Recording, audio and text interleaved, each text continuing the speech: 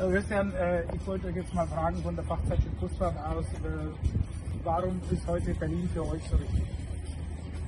Na, zum einen sind wir Berliner Busunternehmen. Ähm, und ich denke mal, also für mich persönlich, was ich hier verspreche letztendlich von heute, ist äh, gar nicht mal, also letztendlich sitzen wir seit acht Wochen alle zu Hause und warten auf irgendeine verlässliche Aussage. Und mir persönlich ist es eigentlich ganz egal, was für eine Aussage getroffen wird, ob wir was bekommen, ob wir noch Unterstützung kriegen oder eben nicht. Aber ich will eine Aussage haben oder ich brauche eine Aussage, damit ich kalkulieren kann. Wenn Sie sagen nichts, dann kann ich mir ausrechnen, wie lange kann ich es noch schaffen, sag ich mal. Und äh, wann wird es eventuell wieder losgehen. Die Erwartung mit der Touristik. Ähm, mit jedem Tag, den ich den Betrieb weiter am Laufen halte, steigen ja die Kosten oder die Schulden, wie auch immer eben. Ne? Und ich brauche einfach für mich eine verlässliche Aussage von der Regierung. Und äh, ich denke, es ist jetzt ein Zeichen, äh, Zeit, dass man sich bemerkbar macht. Hallo, uns gibt es eben. Ähm, der BDO, der ja heute nicht da ist, äh, der RDA unter anderem auch, haben wir vor einiger Zeit mit der Regierung schon äh, in Verhandlungen getreten, so 300 Euro pro Tag pro Bus an Schadenersatz sozusagen zu bekommen. Ist diese Summe für Sie realistisch?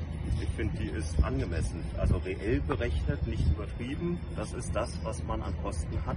Also Personal und das alles mit der Kurzarbeit, aber die Kosten bleiben ja da. Wenn der Bus steht, sage ich mal, kostet. Und es ist eine angemessene Summe aus meiner Sicht. Ist das auch jetzt für Sie ein, nur ein Teil der äh, Schadensersatzforderung, äh, dass man auch vielleicht hinzufügt, noch die Mehrwertsteuer zu senken äh, und verschiedene andere Instrumente in die Hand zu nehmen, um diese wahnsinnigen Verluste wieder auszugleichen? Ich glaube, wenn ähm, grundsätzlich wir wieder fahren dürfen und Fahrgäste befördern dürfen, dann ist es einfach, es wird seine Zeit brauchen, bis wir wieder einen gewissen Stand erreichen. Leute werden nun nicht sagen, juhu, wir können jetzt wieder fahren. Und es geht ja dann auch darum, wie wird dieses Hygienekonzept umgesetzt, äh, was jetzt so im Raum steht, eben mit Abstand im Bus, sag ich mal. Ich kann keinen 49-Sitzer Reisebus mit 14 Leuten wirtschaftlich bewegen. Und wenn ich diese Kosten auf die Fahrgäste schlussendlich umsetze, dann wird Busreisen wirklich teuer. Und dann ist die, äh, Frage, wie viel werden sich das leisten können. Das heißt, wieder um Umkehrschluss, äh, äh die, die Reisezahlen würden zurückgehen.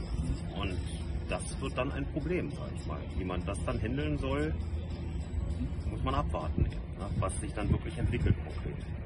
Wir wünschen Ihnen heute viel Erfolg in Danke. Berlin und werden da voll dabei sein. Super. Danke fürs Gespräch. Danke. Danke.